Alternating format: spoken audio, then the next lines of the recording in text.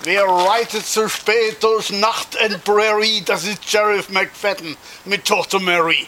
Er hält den Whisky wohl in dem Arm, er trinkt ihn sicher, denn Whisky macht warm.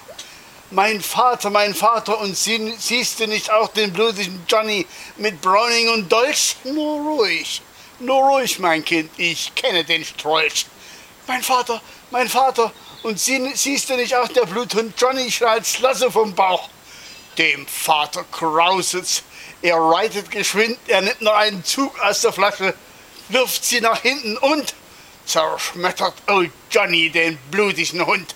Der kluge Vater, der auf sich hält, trinkt Scotch Whisky, den besten der Welt. Hätte das McFadden nicht immer im Sinn, das Kind in seinen Arm rare hin.